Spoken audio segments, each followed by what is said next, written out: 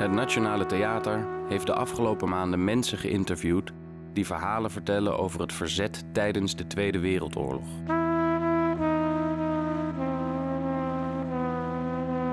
Hun vaders, moeders, oudere broers of zusters vochten op verschillende manieren tegen de Duitse bezetters.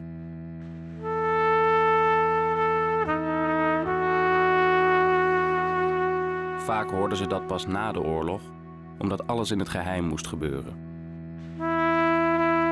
Maar ook aan de andere kant van de wereld, in Suriname en Curaçao, streden mensen voor onze vrijheid. Het zijn verhalen die niet vergeten mogen worden.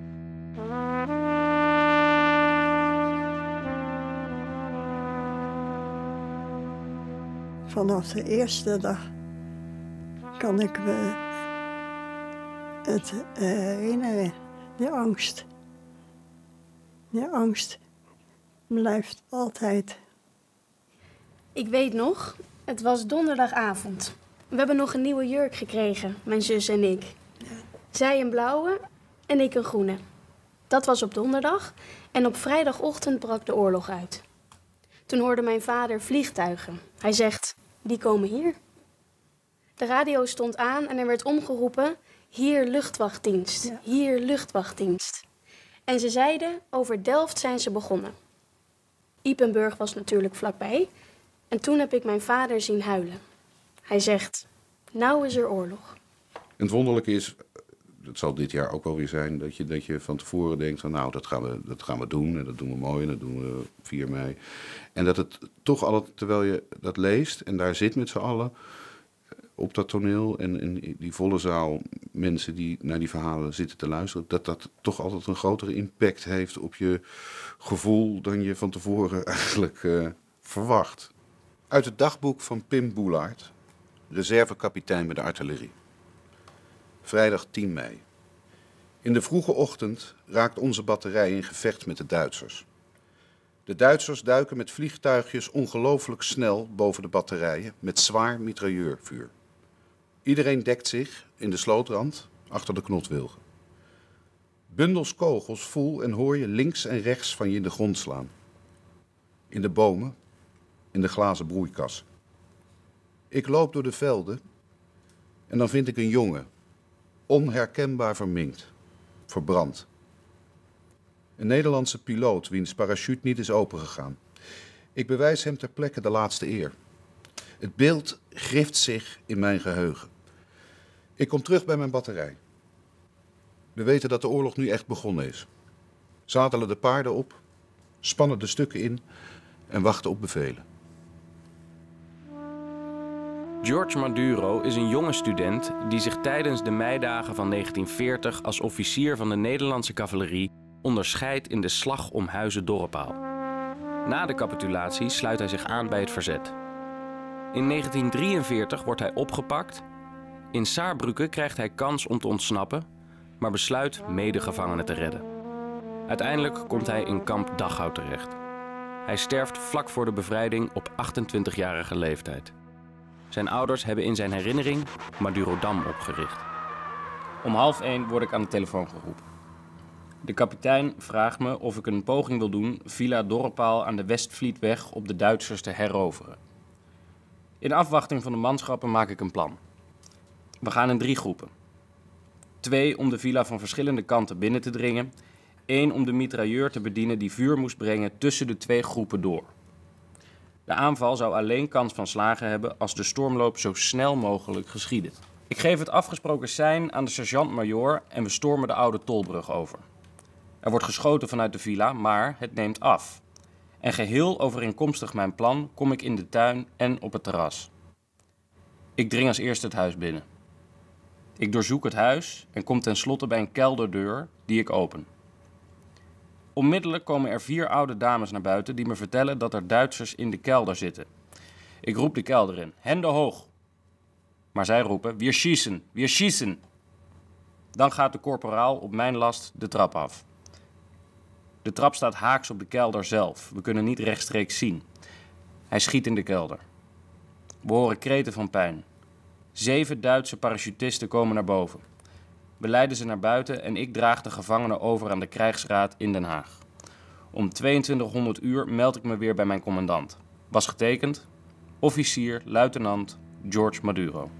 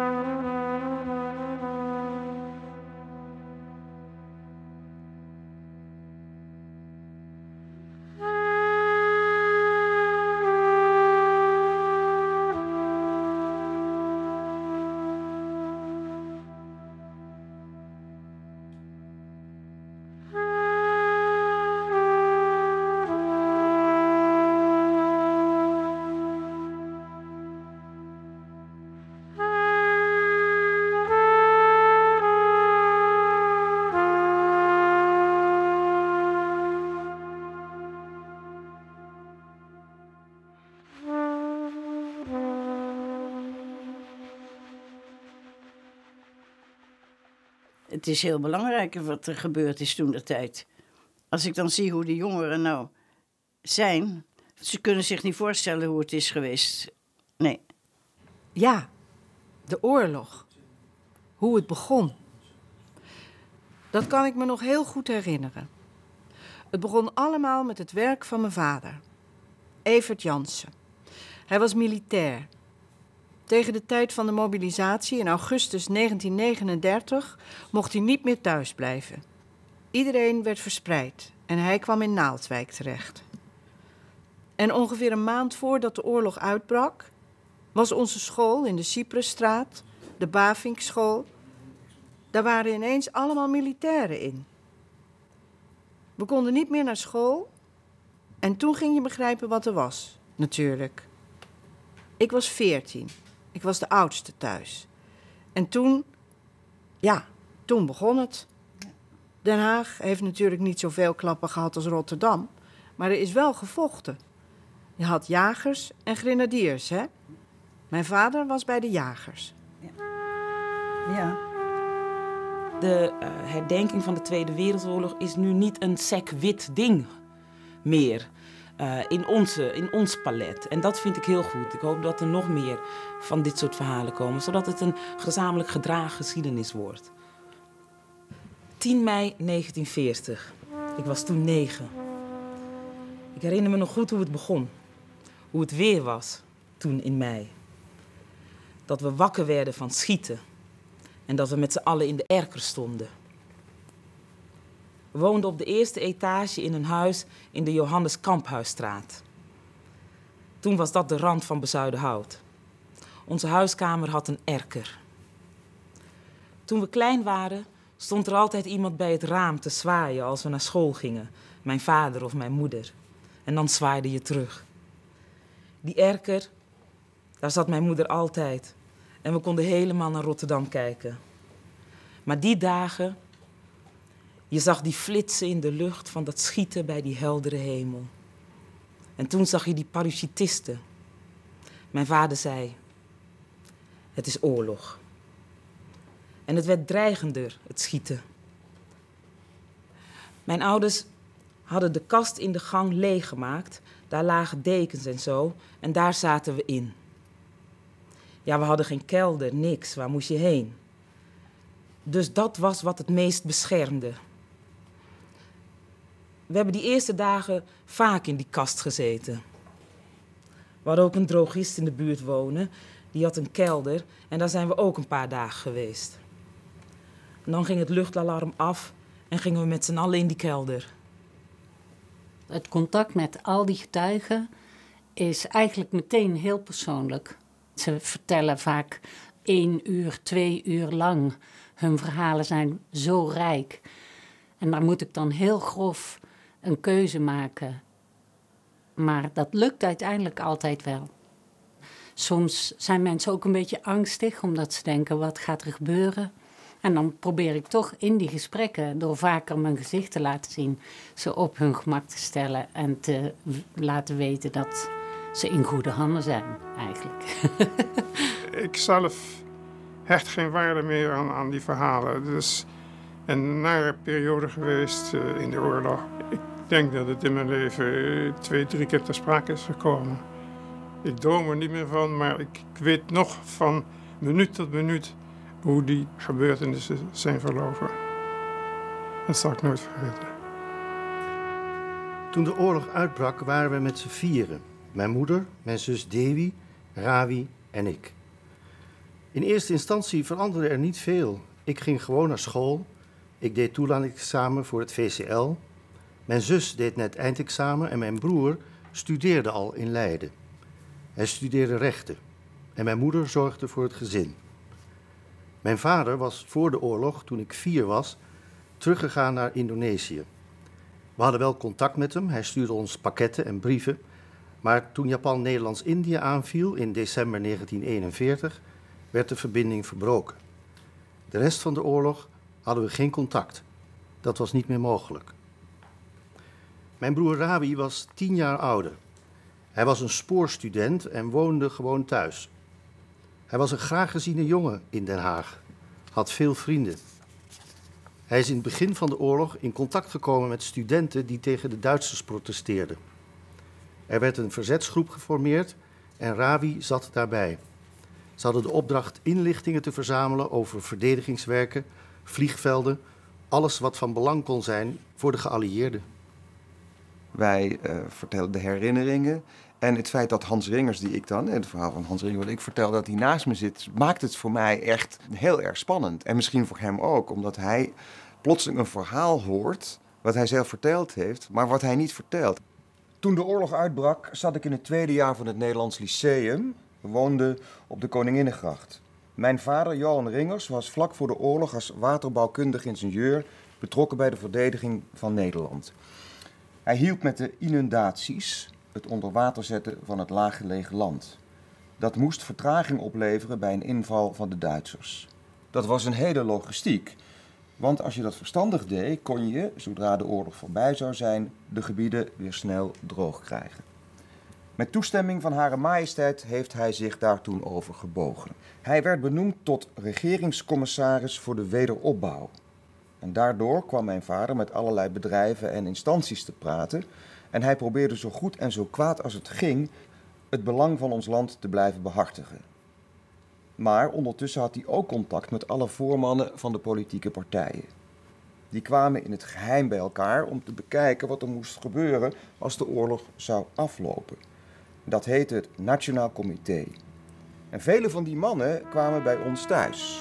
Het ging over de Tweede Wereldoorlog, maar ook wat kolonies hebben bijgedragen eigenlijk.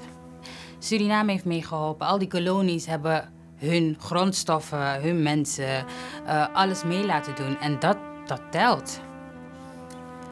Toen de oorlog uitbrak was ik een jongen van 17 jaar. Leerlingbarbier bij meneer Lilienthal aan de Keizerstraat in Paramaribo. Onze klanten waren grotendeels militairen van Waterfort.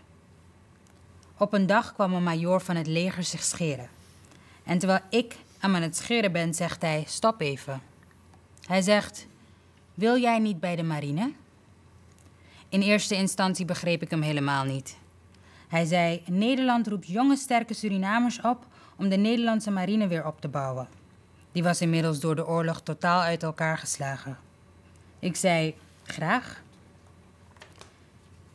Na een paar dagen kreeg ik een kaartje dat ik mij moest melden bij de marinierskazerne Halikibi, pal waar Hotel Terrarica nu staat.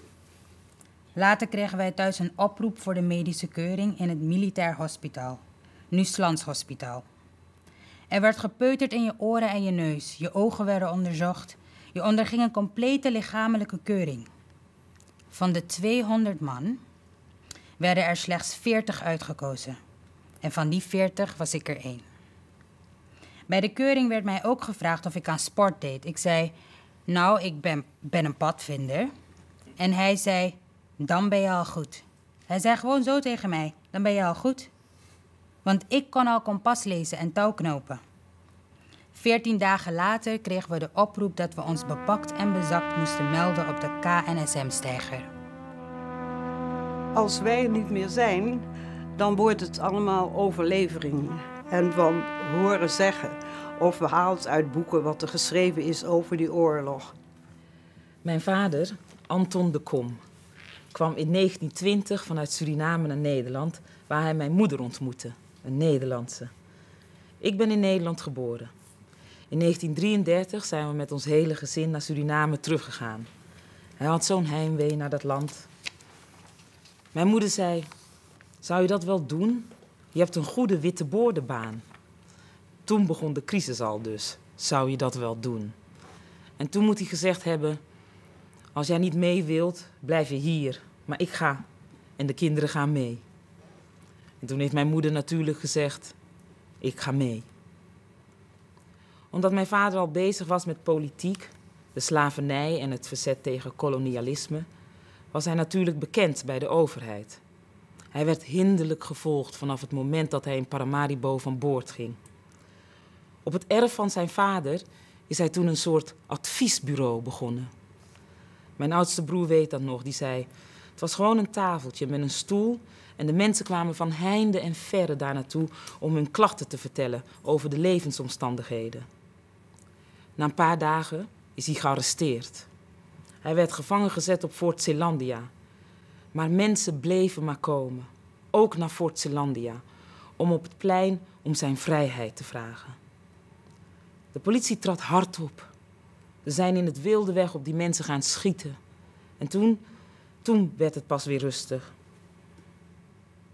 Mijn vader zat gevangen van 3 of 4 februari tot mei, zonder vorm van proces, geen aanklacht, niks. Mijn moeder ging iedere dag op bezoek.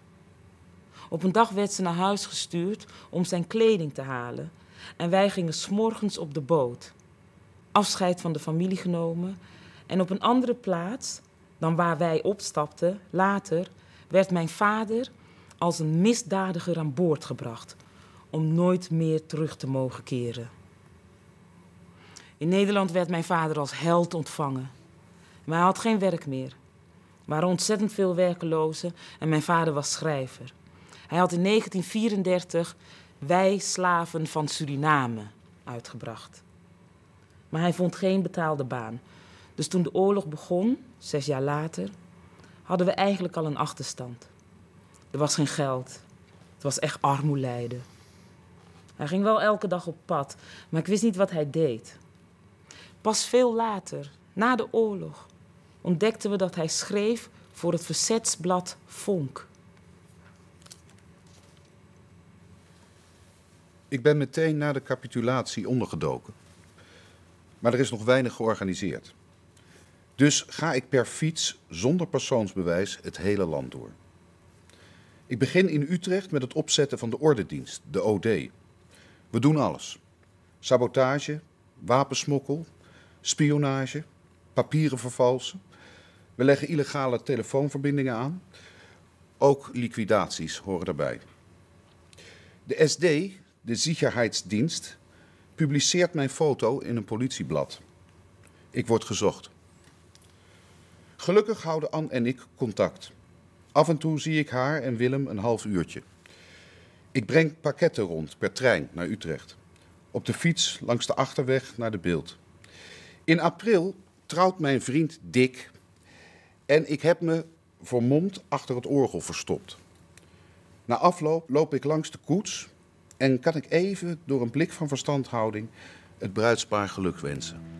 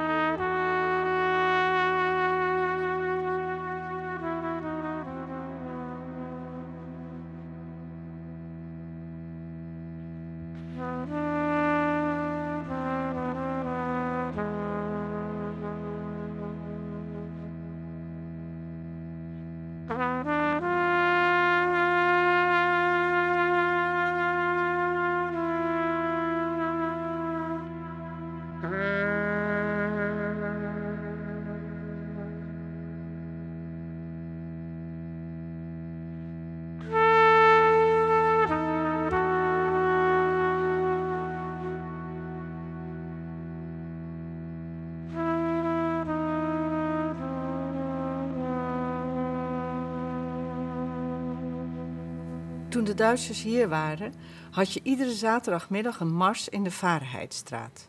Van de NSB'ers. In uniform. Als meisje zijnde, ja, je vond het mooi om te kijken natuurlijk. Daar waren allemaal zwarte uniformen. Je stond er niet bij stil.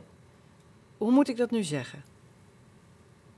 Mijn vader was thuisgekomen na de capitulatie en hij ging zaterdagsmiddags ook kijken. En ik vergeet nooit dat Mussert liep voorop en die Elfrink, dat was een collega van mijn vader geweest, die liep ook mee. En die heeft later de hele boel verraden hier in Den Haag. Op een dag, er was weer een mars. Oh, we gaan kijken. Maar toen werd er op een gegeven moment meneer Bos eruit gehaald. Dat was een goede vriend van de familie. Hij werd geslagen en tegen de muur gezet. En meneer Bos heeft ook een tijdje in het Oranje Hotel gezeten. Later wel vrijgekomen. Maar ik vond het verschrikkelijk. Dat was zo ongeveer drie, vier maanden nadat de oorlog was begonnen. Ja, toen kwamen ze allemaal op, natuurlijk, die NSB'ers. Het was augustus 41. Midden in de nacht, een uur of drie, vier, werd hard gebeld en ik werd wakker. Ik ging niets vermoedend naar beneden en doe het raampje in de deur open en ik zie daar politie. En daarachter twee groene uniformen en die vragen naar Rawindo Noto Suroto. Ik zeg, dat is mijn broer. Ja, die moeten we hebben. Je moet open doen. Nou, toen heb ik de deur van het slot gedraaid. Toen vragen ze, waar is die? Ik zeg, die slaapt. Die is boven. Die kerels meteen naar boven. Mijn zusje was inmiddels wakker. De bewoners op de eerste verdieping ook. Er ging licht aan en mijn moeder kwam ook naar buiten. Die kerels trokken zich van niemand iets aan, gingen naar boven, naar de voorste zolderkamer van mijn broer. Ze zeiden, hup, aankleden. Tandenborstel mocht hij meenemen. En toen moest hij naar beneden en zijn jas aantrekken. Om de hoek, bij de Delistraat, stond een Duitse overvalauto. Nou, ik was helemaal van slag. Ik bleef me aan mijn broer vasthouden, tot buiten. Ik liep zelfs op mijn blote voeten de straat op, moest rennen en. En toen was hij weg. Die hele groep is verhoord. En in die tijd, het was het begin van de oorlog, waren de Duitsers nog niet zo goed georganiseerd. Bij het eerste proces kregen mijn broer en de anderen levenslang. Iedereen was opgelucht. Maar de twee leiders die werden ter dood veroordeeld. Daarna kwamen er nieuwe processen. Er kwam meer aan het licht en toen zijn ze alsnog allemaal ter dood veroordeeld. Dat was natuurlijk een hele slag. Alle ouders hebben gratie gevraagd voor hun zoons en die is ook verleend. Ze zijn er allemaal met levenslang afgekomen. Toen werden ze opgesloten in het Oranje Hotel en het was afwachten. Op een gegeven moment zijn ze op transport gesteld. Wij wisten niet waar naartoe. Er werd niets, niets verteld. Zo'n beetje nacht en nebel al. De Tweede Wereldoorlog is qua verhalen is onuitputtelijk. Dat blijft maar opborrelen en elk verhaal is niet te geloven. En dat zijn verhalen van, van leed en van angst en dat delen wij allemaal. Vandaag nog, overal op de wereld nog. 21 mei. Lieve Pama, vorige week ben ik bij professor Van Over geweest. Hij riep me aan in juli tentamen af te leggen. Daartoe moet ik een request indienen en dokter Ringers zegt dat ik het zeker gedaan zal krijgen. U begrijpt dat ik al hard bezig ben met studeren. Op 31 mei wordt George gearresteerd en voor de tweede keer weggevoerd naar het Oranje Hotel. Op 15 december wordt hij vrijgelaten, maar zijn geliefde Hedda is inmiddels met een ander verloofd. Nu houdt niets hem nog hier. George duikt meteen weer onder en zoekt met zijn vriend Onko Utewaal van Stoetwegen een vluchtroute weg uit Nederland. Voor mij is de oorlog eigenlijk zo ver weg.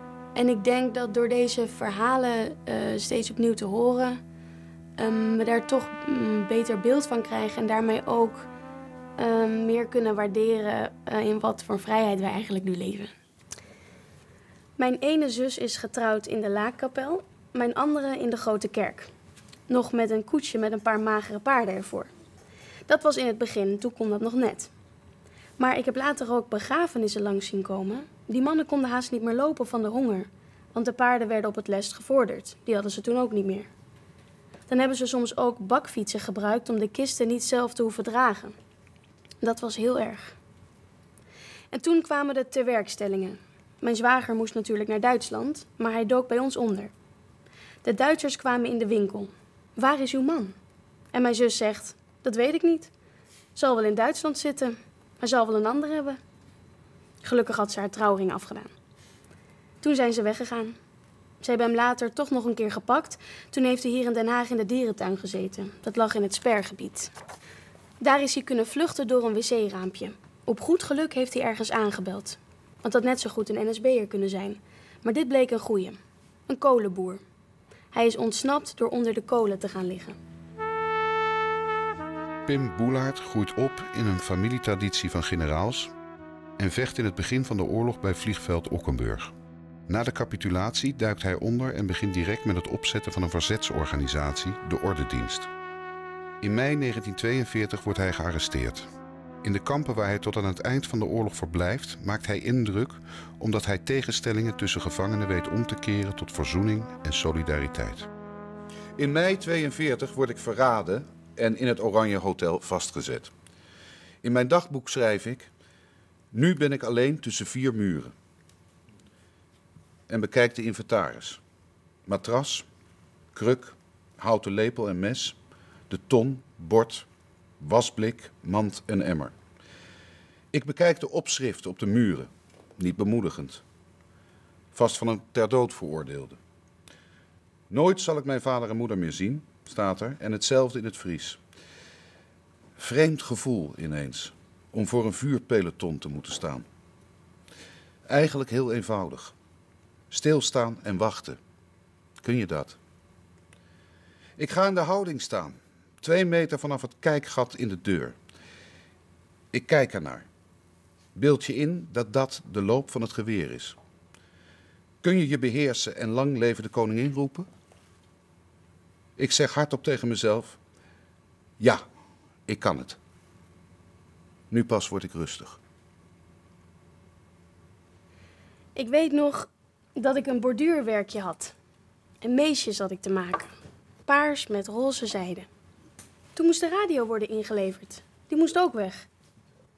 Dat was mijn vaders trots, die radio. Hij heeft hem heel hard op die vrachtwagen gezet. Hij zegt, zo, dan doet hij het niet meer. Maar hij was hem wel kwijt natuurlijk. Opoe had wel nog een radio, dus dan ging hij bij haar naar Radio Oranje luisteren. Stiekem. De Curaçaose oliemaatschappij had platbodemolietankers die ruwe olie naar Curaçao brachten voor de raffinaderij. Die olie ging dan weer naar Amerika of Europa voor vliegtuigen. Die vloot van olietankers werd de Mosquito-vloot genoemd en die moesten we bewaken. Want die Duitsers waren ook niet gek. Zij probeerden de brandstoftoevoer af te snijden of te boycotten. En op een vooravond, woef. De Duitsers lagen op de loer en hadden een torpedo afgeschoten op een van die olietankers. Het was een chaos. Een zee vol olie en vuur. Zo heb ik een vriend verloren. Hij heette Johan van het Kruis. Wat je hoort is dat, dat er een soort voortschrijdend inzicht is. En ineens wordt het allemaal heel grimmig en zo. En zeg maar, de argeloosheid verdwijnt gradueel. En wij denken heel vaak van, en nu is het zover. En het is iets wat zich voltrekt op een langzame manier. Dat leer ik uit deze getuigenissen. We gingen naar Paterswolde met de trein. Die reden toen nog gewoon. Mijn zusjes waren naar Rozenburg gebracht. Mijn moeder vond het heel erg dat iedereen weg was tijdens de oorlog. Ze woonde met nog één dochtertje. De rest was weg. Ik werkte in het sanatorium en dacht soms wel: wat gek. Dan waren er ineens kindertjes weg of er kwamen nieuwe. Ik dacht er toen niet over na. Dat het over Joodse kinderen zou kunnen gaan. Mijn vader heeft al die tijd dat hij in Duitsland was een dagboek bijgehouden. Hij schrijft 25 juli 1943. We worden ondergebracht in barakken. Er zijn geen tafels, bedden of banken. 26 juli. Ontluist en haren afgeknipt. Kofferinspectie. Kleding wordt gemerkt met rode verf. Het is een groot kamp. Alles afgezet met prikkeldraad en zeer strenge bewaking. Er is een kantine en een bibliotheek. Een ziekenboeg en concertbarak. Er zijn plusminus 350 man per barak. Slaapplaatsen in houten stellingen, drie hoog. Er zijn Engelsen, Fransen, Belgen, Italianen, Serven, Russen, Mongolen, Canadezen, Afrikanen, Hottentotten, Nieuw-Zeelanders, Grieken, Brits-Indiërs, Amerikanen, Arabieren. Bij correct gedrag onzerzijds geen reden tot klagen. Enkele uitzonderingen van bruut geweld. Men raakt op de duur gewend aan de grove en onhebbelijke methode en het optreden van de moffen. Alles wat je leest, wat tegenwoordig over het verleden geschreven wordt en geïnterpreteerd door mensen die zelf nooit dat meegemaakt hebben, dat heeft wel eens een beetje een, eh, een verkeerde bijsmaak, bij mij althans. In 1943 deed ik eindexamen, vlak nadat mijn vader werd opgepakt. Toen heb ik nog een maand of zes illegaal in Delft tentamen gedaan, allemaal wiskunde. Nou, dat vond ik vreselijk. Mijn boezemvriend zei: Ik ben koerier geworden voor een krantje. Dat moet je eigenlijk ook doen, want je kan toch niet alleen maar thuis zitten en uh, studeren? Daar had hij wel gelijk in. Dus uh, toen ben ik dat gaan doen. En dat krantje heette Ons Volk. Dat was een vrij goed verspreide krant. Net als het Parool en zo. George Maduro vlucht in augustus 1943 via Antwerpen naar Brussel. Vanuit hier zoekt hij een weg naar Engeland met zijn vriend Onko, die na de oorlog het volgende verslag schrijft. George en ik worden gefotografeerd, krijgen valse papieren en moeten al het geld geven dat we bij ons hebben. We bespreken samen keer op keer alles nog eens goed door. We kunnen niets verdachts ontdekken. Zaterdagochtend worden we in kleine groepjes naar de trein gebracht. De spanning is groot voor ons. Negen mensen die geen woord Frans spreken op vijandelijk gebied. De conducteur komt langs. Onze gids geeft hem geld. Bij de grens loopt de trein leeg. Wij blijven zitten. We zullen passeren als zijnde een voetbalelftal. We worden gecontroleerd. De trein staat 20 minuten stil. Het lijkt een eeuwigheid. Na de grens lijkt het ergste voorbij. Maar het ergste moet nog komen. In Charleville brengt een passeur ons naar een leeg huis om wat te eten. Daar staat de SD met Tommy Guns en we worden overvallen. Het is half drie, zaterdagmiddag. Wo Sie hingehen, keert keiner daarvan zurück, zegt de Sturmbahnführer. Ik kom als een van de honderd todeskandidaten in kamp Natzweiler terecht. De gevangenen die daar terechtkomen zijn lastposten, verzetsmensen. Ze moeten verdwijnen in nacht en nebel. Dat is ook de naam van het speciale strafregime waaraan wij nu zijn onderworpen. Vanaf nu zijn we NN'ers, wat betekent geen schoenen, geen medische zorg en het ergst van al, geen foto's of oude brieven. Überhaupt geen brieven. Geen pakketten. Elk contact met de buitenwereld is verboden. Het kamp, met zijn dubbele prikkeldraadomheining, ligt ver naar de laatste huizen. We lopen naar boven. Sommigen zitten in vrachtwagens. Ik zie hoe een kind mishandeld wordt door SS'ers. Een man naast me zegt: Ik geloof dat dit een heel slecht kamp is. Ik geloof dat we dit niet overleven. En voor mijn moeder was het um, ook een ontzettende ervaring geweest. Ze had angstaanvallen, s'nachts vooral. Ze droomde dat, dat ik en, en mijn zusje vermoord werden door de Duitsers. Ik bleef alleen achter. Ik had gelukkig wel contact met mijn zus, niet zo vaak. Ik zat ergens anders in Zeist en ik heb ook in Haarlem gezeten en Amsterdam. In Heemstede. Daar was geen vuur, geen kolen. En toen moest ik van de heer des in de Haarlemmerhout hout gaan hakken. Dat heb ik trouw gedaan, s ochtends heel vroeg. Maar je had de landwacht, Jan Hagel, dat waren die bewapende NSB'ers, die hadden een paar houthakkers doodgeschoten. Toen heb ik gezegd, ik doe het niet meer. En ja, daar moest ik ook weer weg. Als ik niet langer kon blijven bij de familie bij wie ik was, dan kwam Dewi. Zij moest dan bonnen voor me regelen. Die mensen moesten betaald worden met bonnen. Ik leefde uit de koffer. Ik pakte de koffer in en ik ging lopend of op de fiets met mijn zusje mee. Ik heb geloof ik 13 adressen gehad. Zo niet meer. August Mijnheimer wordt in Paramaribo gerecruiteerd om de marine vanuit de oost op te bouwen. Het is druk op zee. De konvooien met olie en bauxiet, brandstof voor de oorlog, zijn een doelwit voor de Duitse onderzeeërs en moeten beschermd worden. De Surinamers en inwoners van de Nederlandse Antillen voelen zich sterk verbonden met het Koninkrijk der Nederlanden. In 1941 wordt het Spitfire Fonds opgericht. De bevolking zamelt 38.000 gulden in voor de aankoop van een gevechtsvliegtuig. De Spitfire krijgt de toepasselijke naam Suriname. De Van Kinsbergen moest een groot konvooi varen vanuit Suriname. Met bauxiet en olietankers via Trinidad naar Amerika.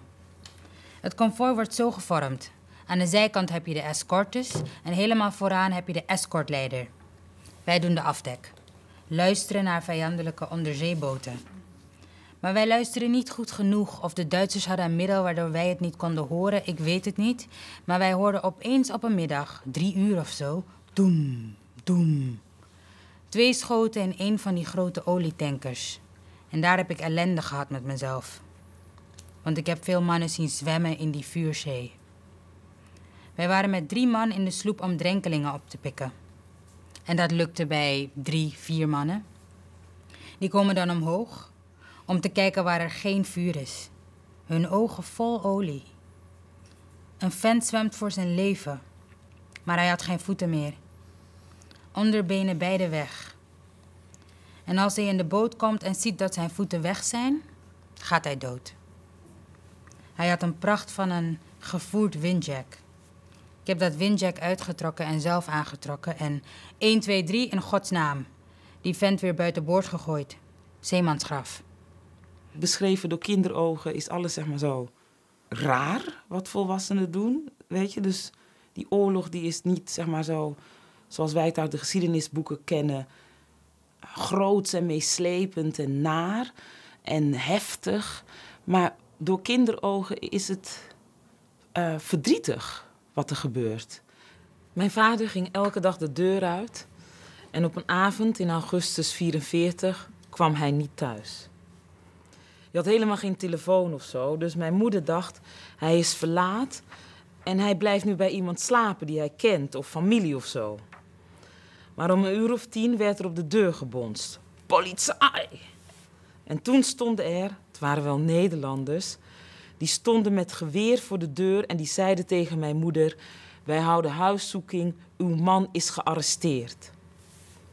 Ze hebben het hele huis overhoop gegooid, naar wapens en alles, en hebben verschillende dingen meegenomen. Ze zeiden: Als er niks aan de hand is, komt hij weer naar huis.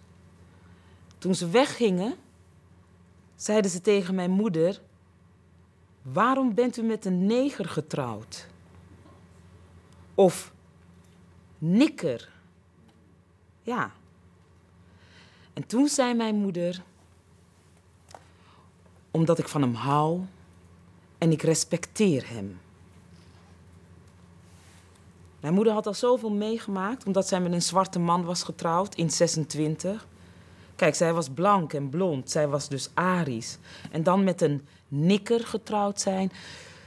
Dat is haar altijd bijgebleven. Dat was zo kwetsend. De volgende dag gingen we naar school, mijn broertje en ik. En toen zei de tramconducteur: de tram werd ontruimd. En toen werd hij door twee Duitse soldaten opgepakt en naar het Alexanderveld gebracht. Dat is een politiebureau. Dus mijn moeder daar naartoe. En toen zeiden ze: Nee, nee, hij is hier niet. Hij is al naar de gevangenis gebracht in Scheveningen. En weet u verder iets? Nee, nee. Dat was het laatste. Verder hebben we taal nog teken gehoord. Toen hij er niet meer was, zat mijn moeder altijd in die erker naar buiten te kijken. Mijn moeder wachtte. Dat beeld is een foto in mijn geheugen. Mijn moeder was verschrikkelijk bang. En toen kwamen die vliegtuigen. Die Engelsen. En die bombardeerden al door om die V2-raketten uit te schakelen. Dat was ook angstig. Als die raketten naar boven gingen, dan zag je de lucht helemaal rood worden. En dan dacht je, dat gaat niet goed. En dan viel hij weer terug. In Den Haag zijn er veel gevallen, ook in Rijswijk. We stonden toevallig in de gang. Een neef was er en die zei tegen mijn moeder: Weg, weg, hij komt terug. Je zag hem terugvallen en toen, dat was zo angstig, alle ramen waren eruit. Boven ook, bij de trap boven en de buren, alles was eruit. Je kon zo bij elkaar naar binnen kijken. Op de trap boven, op de bovenste etage. Voor onze illegale krant hadden we een drukkerij in de Wagenstraat. En eh, een pand, een soort winkel. Daar zat niks in. Voor opslag van papier. Van die hele grote rollen voor de kranten. Daar ontmoeten we elkaar ook wel eens. Na de razzia's was het onrustig en toen ben ik daar naartoe gefietst. Ik zag niemand. Ik begreep er niks van. En toen zat er een man met een petje en die zei... Nou, ik zou maar maken dat je wegkomt. Want de politie heeft hier vanochtend alles weggehaald. Dat moet maart 45 zijn geweest, vlak voordat de oorlog was afgelopen. En toen dacht ik, nou is het mooi geweest. 28 april, kamp Dachau. De afgelopen dagen waren griezelig spannend. We hoorden het naderbij komende geluid van beschietingen, dan weer onheilspellende stiltes. Zijn de Amerikanen in de buurt? Of zullen hier straks Duitse bommen vallen? Er zijn nog levensmiddelen voor 24 uur. Er zijn geen medicamenten meer. En twee derde van ons is ziek en stervende. Discipline. Discipline. Er wordt meegedeeld dat de SS bezig is onze Rode Kruispakketten te plunderen. Besluit niet reageren, anders hebben ze een voorwensel om te schieten. Deze uren beslissen over ons leven. 29 april. Er wappert een witte vlag, maar de wachttorens met machinegeweren zijn nog bemand. Om 5 uur 28 is het zover. De grote poort gaat open en de Amerikanen treden het kamp binnen. De bevrijders worden omhelst, manschappen op hun magere schouders genomen, de grond voor hun voeten wordt gekust. 30 april, feest. We vinden in de volgestouwde opslagruimte van de SS rollen stof die we gebruiken om erevlaggen van te maken. Van maar liefst 30 nationaliteiten. De appelplaats verandert in een zee van kleuren. Ik vind het heel belangrijk en bijzonder dat dit project er is en dat deze verhalen worden verteld. Dat getuigen echt vertellen wat ze, hoe, hoe dat was. En ehm, ook nu om het te lezen, dat, dat raakt enorm. Maar ik vind het zo'n bijzonder project dat ik denk, dit moeten we ook doen met 1 juli, uh, met de afschaffing van de slavernij. Via de Afrikaanse kust, de Golf van Biscayen, zijn we naar Dover gevaren. We meerden af in de Shapwell Dock in Londen. En toen kwam einde oorlog. Als eerste Nederlandse oorlogsboot gingen we vanuit Londen naar Rotterdam. In die tijd had je drijvende verankerde mijnen. Ze werden gelegd op routes waar veel schepen voeren en konden veel schade veroorzaken. Onze taak als mijnenveger was om ze onschadelijk te maken. Zo zijn we al vegende de waterweg opgegaan. Op 8 mei 1945 kwamen we aan in Rotterdam. Ik wist niet wat ik zag. Rotterdam was flink gebombardeerd. De mensen hadden geen schoenen aan, fietsen zonder binnenband, alleen op velgen, armoe. Dus het begon allemaal bij het, het onderzoek naar het Indisch verzet. En van daaruit ontdekte ik dat in Suriname opnieuw het leger geformeerd werd en opgebouwd. En uh, dat zij eigenlijk zorgden dat de oorlog in Europa gevoerd kon worden. Dus al die olie, die ruwe olie, werd naar Curaçao gebracht, geraffineerd, naar de Verenigde Staten gebracht. Uh, bauxiet, aluminium om vliegtuigen te maken, komt allemaal uit Suriname.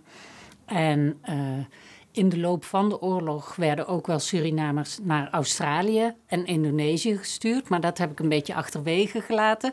Maar ik kon op een bepaald moment wel een wereldreis bedenken van alle verhalen die ergens met elkaar gelinkt waren. Er waren ontzettend veel mensen in koloniën die begaan waren met Nederland, Frankrijk, Engeland.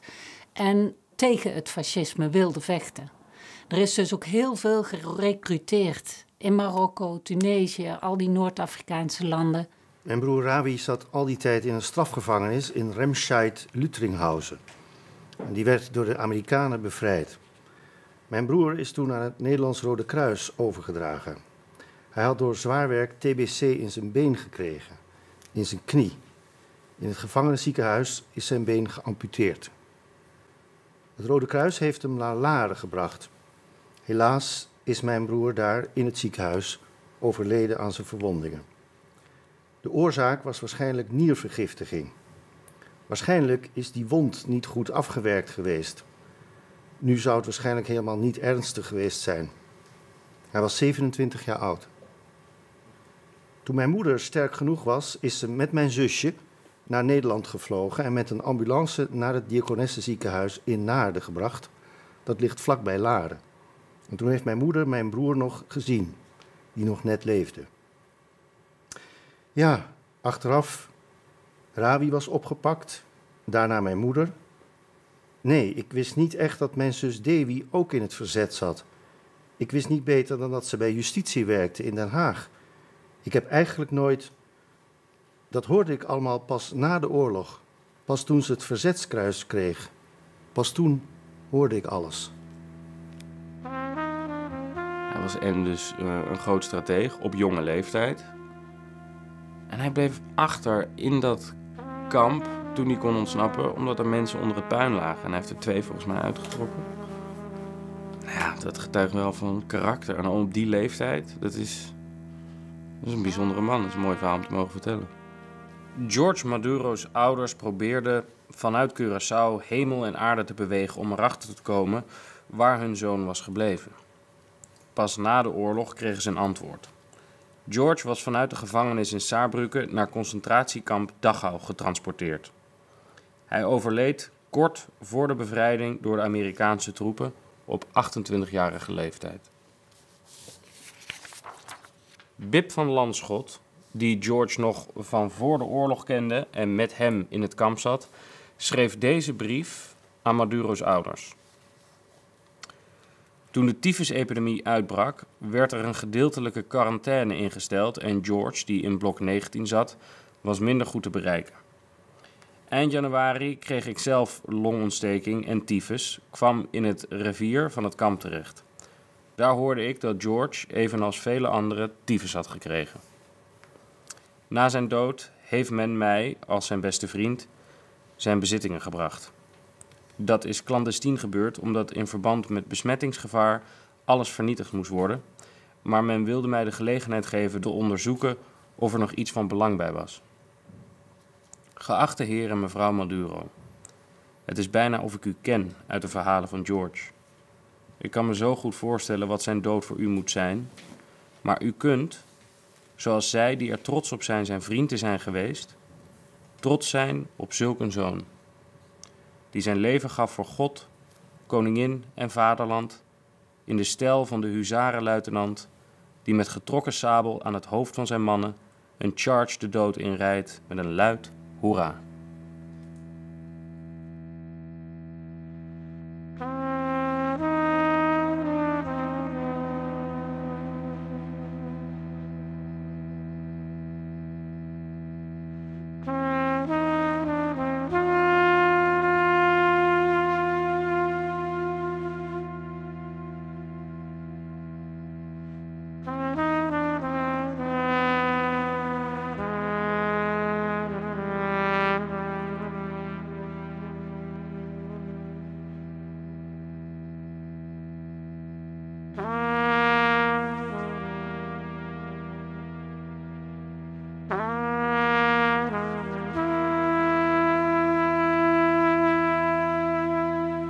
Het goed, nou. Maar toen ik 14 jaar was, hadden we het ook goed voor de oorlog. Je hebt er nooit meer bij stilgestaan, maar nu ben je eigenlijk er iedere dag mee bezig. Heel raar. Dat kwam nou allemaal met het interview, kwam het weer naar boven toe natuurlijk. Na de bevrijding van Paterswolde ging ik werken voor het Centraal Bureau voor Oorlogsslachtoffers. Oorlogsslachtoffers Eindhoven. Zo kwam ik in Eindhoven terecht. Ja. Ze kwamen daar personeel tekort. Een school naast het Sint-Catharina ziekenhuis was ingericht als opvang voor krijgsgevangenen.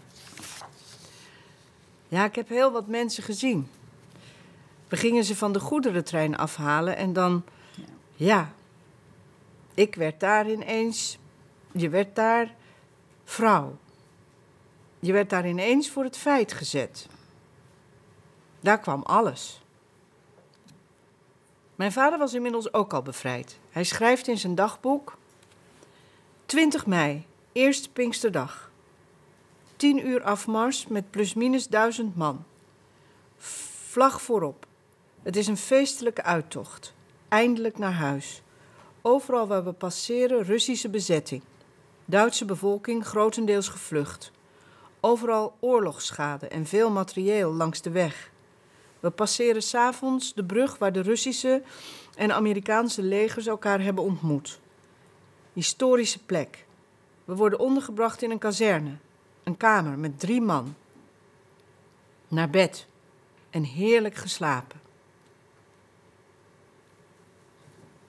Ik kwam uit een gezin, vader en moeder, vijf kinderen en ik was de jongste, de enige die nog bestaat in deze wereld.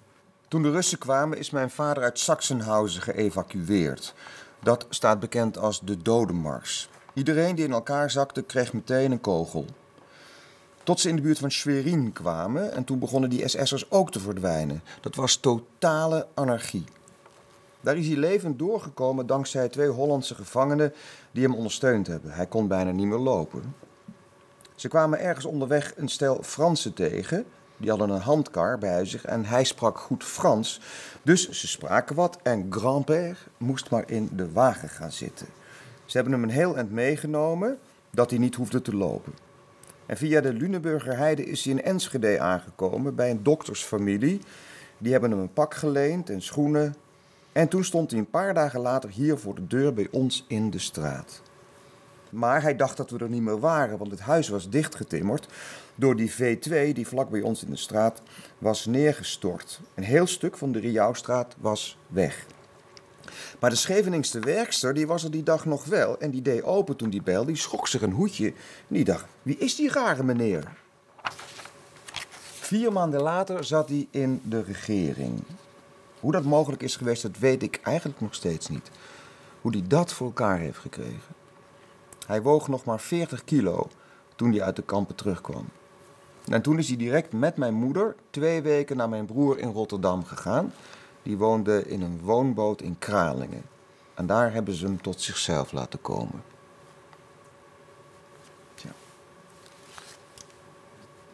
Nou, wat ik eh, leuk en ook bijzonder vind eigenlijk aan het verhaal van mevrouw van der Nol... is dat ze ook af en toe van die kleine details opnoemt. Maar door zulke kleine dingetjes als een borduurwerkje... of dat ze op de avond voor de oorlog een groene jurk kreeg... dat maakt het eigenlijk zo ja, invoelbaar. Dat ik er zelf een beter beeld van kan krijgen of zo. Dat ik het bijna voor me zie. Ik kon s'nachts niet slapen van het gebrom van de vliegtuigen. Nu waren het de Engelsen op weg naar Duitsland. Mijn zus sliep wel, die had er geen last van, maar ik lag de hele tijd wakker. En toen was het zover. De bevrijding. Overal had je straatfeesten. Daar gingen we natuurlijk wel naartoe. Overal kon je dansen en spelletjes spelen.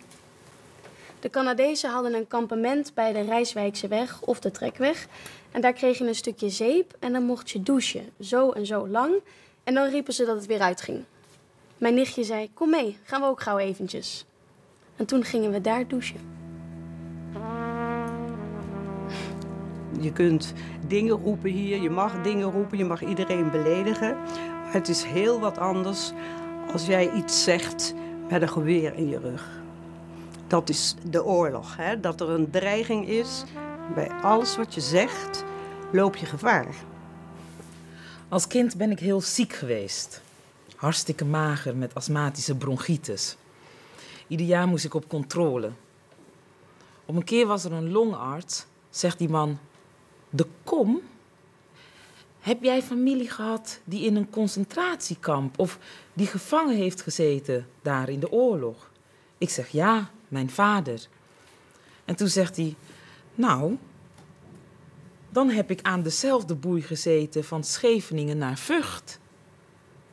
En zo zijn er meer mensen die zeiden: We hebben hem gezien. Ook een tandarts. Allemaal mensen die in concentratiekampen gezeten hebben, die hem gezien hadden. Weinig gesproken, want dat mochten gevangenen niet met elkaar, dat was verboden. Maar zo kwamen we wel steeds meer te weten. In mei 1960 kwam er een hoge militair bij mijn moeder, notabene op 4 mei. Die zei dat mijn vader was gevonden in een massagraf in de buurt van het kamp waar hij voor het laatst gezien was, Neuengamme. Daar is hij eind april 1945 overleden. Hij was 47 jaar oud. In september 1960 zijn zijn stoffelijke resten naar Nederland gekomen en toen is hij opnieuw in Loenen begraven. Ja, ze is tot haar dood toe over hem blijven spreken.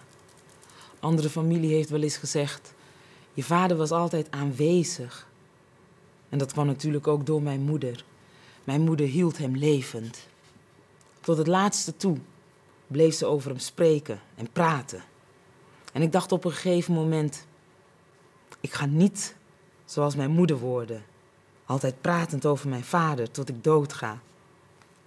En nou blijf ik het toch doen.